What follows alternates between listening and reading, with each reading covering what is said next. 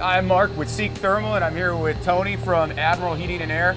And we're downtown Chicago, checking out one of the older buildings. We're looking at their uh, their chillers on the first floor. And so um, I'm going to let Tony walk you through on how you do an inspection, and then how you do an inspection with with the thermal device. So we've got the Seek Thermal Compact Pro, which is a device that plugs into your smartphone.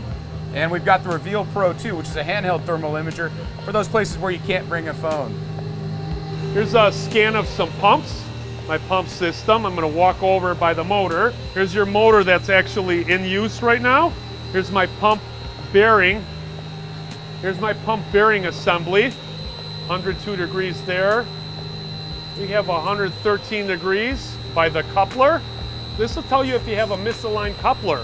If you have misalignment on your coupler, you'll have high readings on your temps here.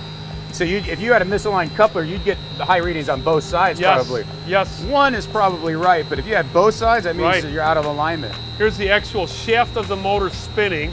So yeah, again, you're just taking a picture, putting it in your log, you're gonna come back, take another picture. If it's out of whack, hey, Right. maybe I need to order a motor before the system goes down. Be preventive about it. Absolutely, yeah.